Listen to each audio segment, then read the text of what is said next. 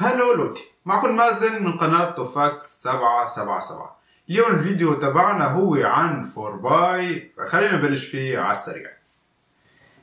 4 باي إلى معنيين المعنى الأول هو zu Ende. شو يعني zu Ende؟ يعني شيء خلص انتهى over أو gone بالإنجليزي.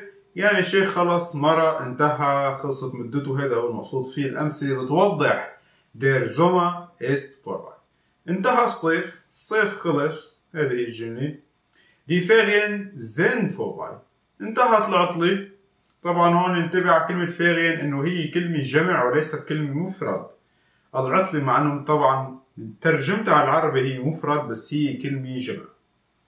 مثال الثالث Der kalte Winter wird bald vorbei sein الشتاء البارد سينتهي قريبا. إذا مثل ما عم نشوف vorbei هي المقصود فيها شيء. انتهى خلص مرق.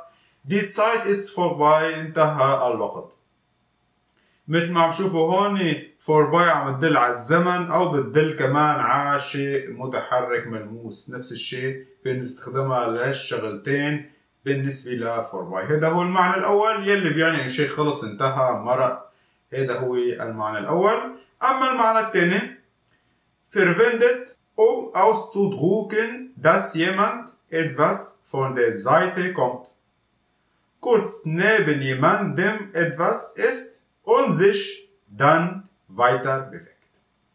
هالحكي كله شو معناتها؟ معنى إنه الشيء مرة جنب شيء تاني، مرة بالقرب من ما في داعي نوجع راسنا بكل هالحكي، إنه الشيء مرق جنب شيء تاني.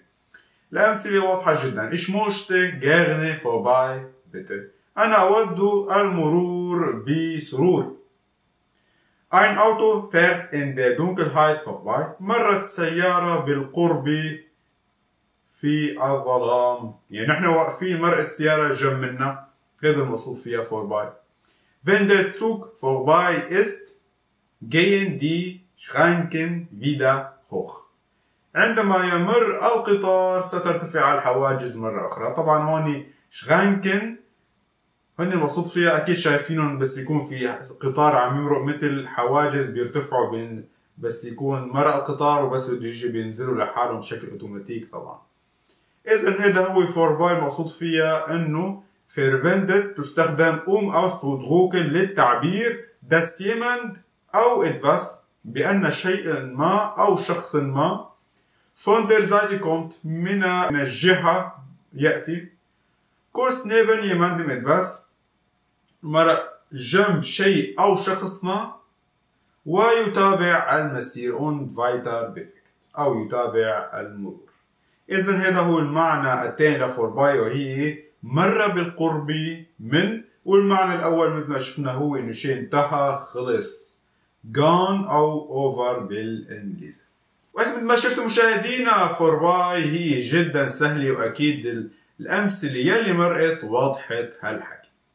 أكيد إذا عجبك الفيديو فيك تشترك بالقناة ليوصلك على طول فيديوهات بالمستقبل. وفي درسكم نشوفكم بالفيديو القادم. تشاو!